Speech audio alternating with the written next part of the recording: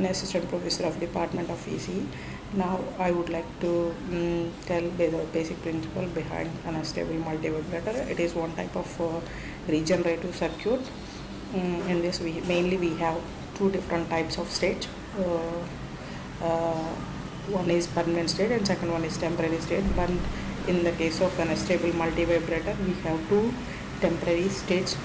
Now coming to the working of uh, basic uh, stable multivibrator. Uh, when the swi- circuit is switched on, one transistor will be driven to saturation, that is into the on state. Other will be driven to cutoff. Now consider Q1 is on and Q2 is off.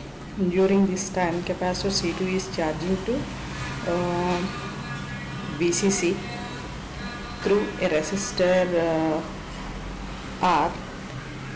Q2 is off due to the negative uh, voltage from the discharging capacitor C1 which is charged during the previous cycle.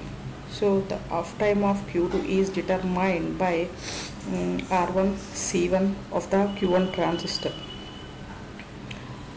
After the time period determined by R1 C1 time constant uh, of the capacitor C1 and now the C1 discharges completely and uh, starts charging in the reverse direction. Uh, here I am showing mm, that uh, way of uh, charging of the C1. Uh, this is the charging path.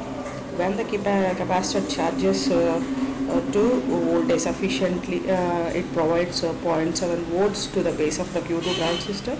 Immediately the transistor Q2 is turns on and the capacitor C2 discharges in this direction a negative voltage from the capacitor uh, C2 turns off the transistor uh, Q1 and the capacitor C1 start charging from VCC through a resistor R.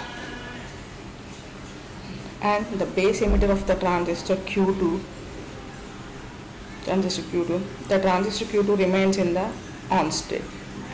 So in that state we have an output like this so uh, parallelly the uh, output of the transistor 1 that means Q1 uh, exhibits uh, a high voltage at the collector of Q1 transistor. In the, as in the previous state when the capacitor C2 discharges completely like this uh, it starts charging towards uh, opposite direction through a resistor R2. When the voltage across the capacitor C2 is sufficiently uh, uh, enough to turn on the transistor Q1, Q1 turns on and capacitor C1 starts discharging.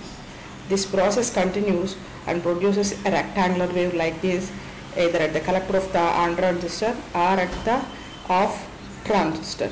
So like this on and off states are alternatively produced without using any external signal. So this type of oscillator is called as uh, a free running oscillator.